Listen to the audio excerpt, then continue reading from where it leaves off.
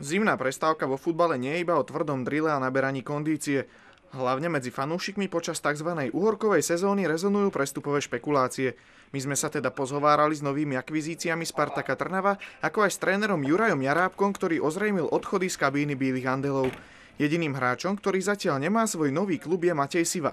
Matej Siva treba mu poďakovať za odvedenú prácu. Mm, priš, prišiel k nám z Mijavy, a hovorím, nesklamal vyložené, ale jednoducho na, na ten post krajného obrancu e, máme Mareka Janečku a e, Maťo ukázal myslím si, že výkonnosť slušnú, ale nie, nie, nie takú, ako, ako, by sme, ako by sme ešte očakávali smerom dopredu, takže tam sme sa rozhodli, bola tam klauzula o dohode, o predlžení zmluvy kontraktu, čo sme neuplatnili a teda Maťo odišiel z klubu odišli aj dve opory jesenej časti, brankár Dobrivoj Rusov a útočník Erik Jendrišek. Obaja zamierili do Polska, kde budú obliekať dres Piastu Glivice, respektíve Krakovie Krakov.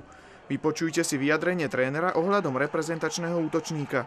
Mal tam klauzulu v zmluve, že odíde pri zahraničnej ponuke. Už prakticky povedal, že jediné Nemecko by ho zlomilo, ale teda bohužiaľ zlomilo ho Polsko odišiel do Polska, si myslím, že narobíme, je to realita. Na teraz posledným zimným odchodom je prestup Nikolasa Špaleka do Žiliny. Prišiel do, do klubu ako talentovaný hráč, ja si myslím, že odohral, odohral do zápasov e, či už v líge alebo v Európskom pohári, ale jednoducho jeho vola bola odísť, prejavil, oslovila ho Žilina, prejavil záujem odísť. E, vlastne to bolo z iniciatívy e, jeho vlastné, že, že má pocit, že odohral málo zápasov ako 17-ročný, takže sme to akceptovali a a umožnili sme chlapcovi odísť do, do Žiliny. Aby sme sa nebavili len o odchodoch, fanúšikov Spartaka nesmierne potešil v sobotu 10. januára Jan Vlasko, ktorý podpísal novú zmluvu.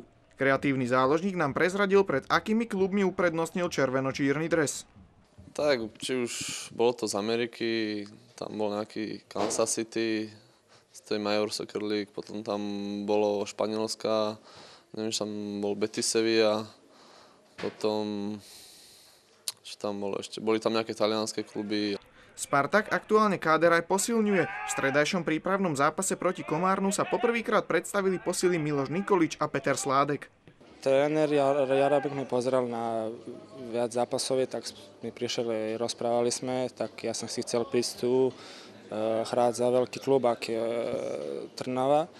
Tak ako hovorím, s trénerom Jarabkom som bol v kontakte už asi od novembra, on mal záujem, ja som tiež mal záujem ísť do Trnavy, pretože už som sa mal ísť už viackrát, asi, asi dvakrát a nikdy to nevyšlo, tak uh, ohľadom tohto ja som chcel ísť do Trnavy, som rád, že sme sa dohodli a, a som tu zatiaľ na povolečné hostovanie, dúfam, že pomôžem Trnave a uvidíme, čo bude potom.